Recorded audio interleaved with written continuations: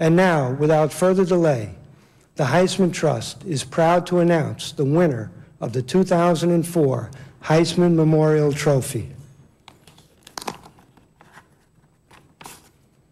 And the winner is Matt Leinart from the University of Southern California.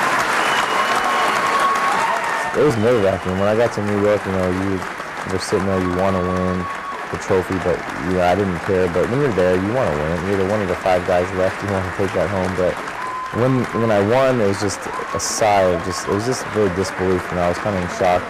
You don't think about every day when you know being up for the Heisman Trophy and winning it.